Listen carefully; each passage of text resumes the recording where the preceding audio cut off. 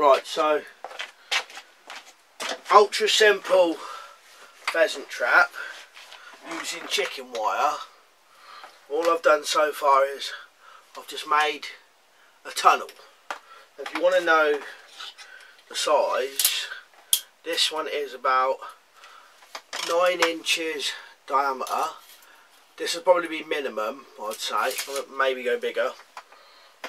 And at the minute it's just the same length as the roll was which is probably four foot I'd say.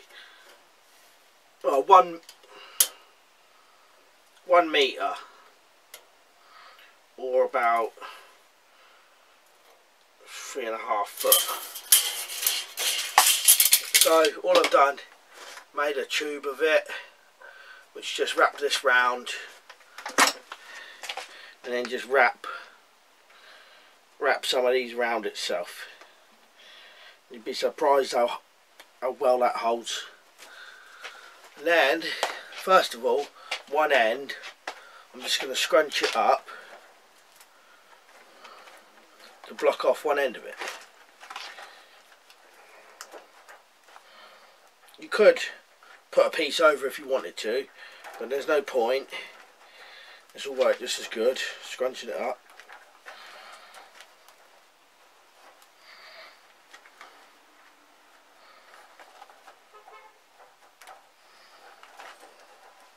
And then if you can get any of the pieces to wrap round do it. If not you might just want to tie a bit of string through it just to make sure it holds.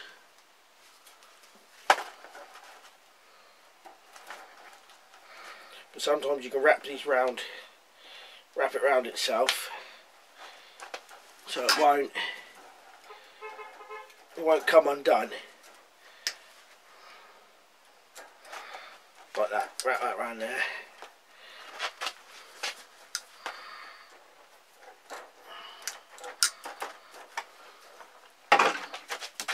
So that's one end done and then the other end is open. Now this end, which is open, you want to get another piece of chicken wire and see if you can kind of scrunch it up a bit so it'll fit down inside it.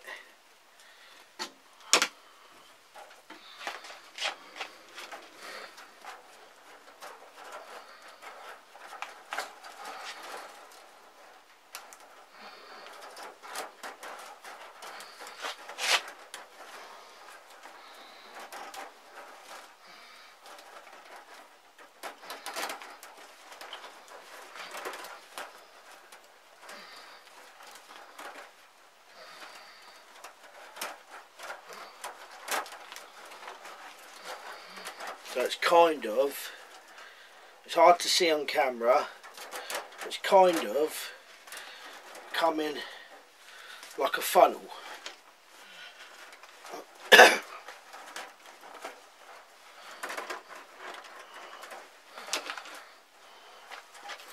Hopefully you can see that.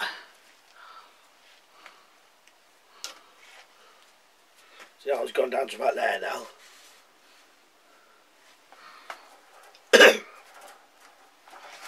Now to wrap that round and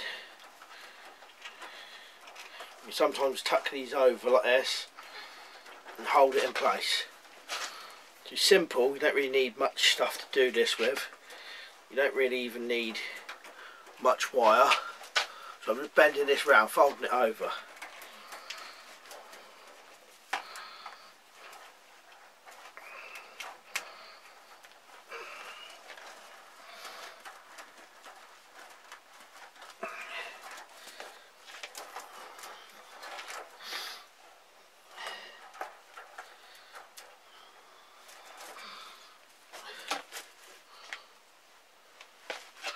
any bits at the bottom just attach them. So that's all solid. So now what I do get a pair of pliers and start cutting some of these low down.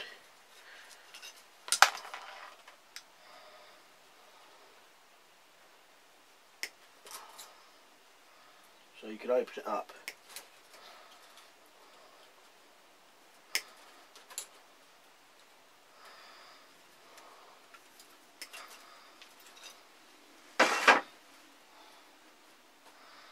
And flap them inwards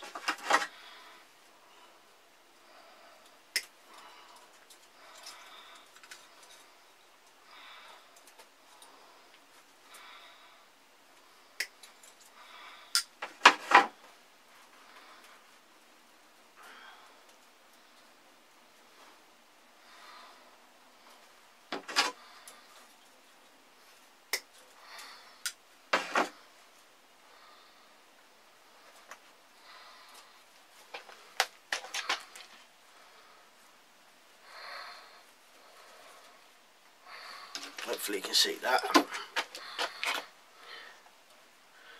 There's the flap. And then, essentially that's done. Now you can do this so the flap is lower so that the animal pushes it up to go under and when he walks back this end he'll stand on it all and push it all down or you can do it more like a funnel and if he goes in he shouldn't be able to find his way out anyway. So essentially that is really cheap easy to make pheasant trap.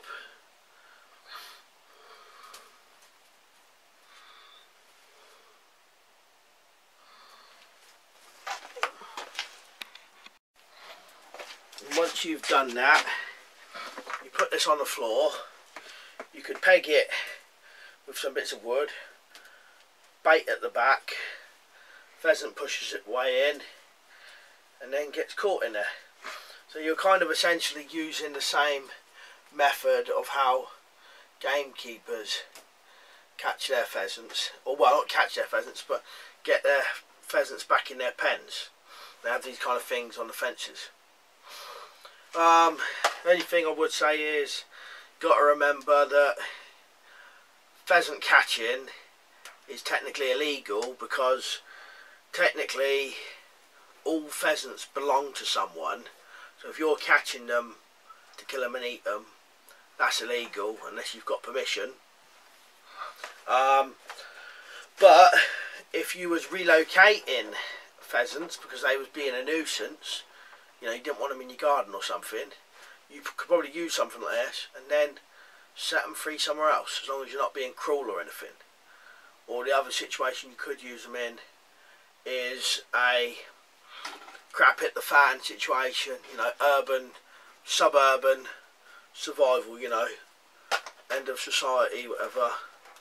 You can make some of these because I don't say survival situation because um you're not necessarily going to come across chicken wire so but if you did you could make one Uh, the other method I have done with this is similar to this, but the chicken wire has come more down at the slope. Like I said, just some more of a flap.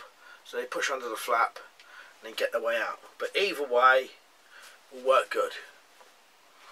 Alright. Cheers for watching. See you later.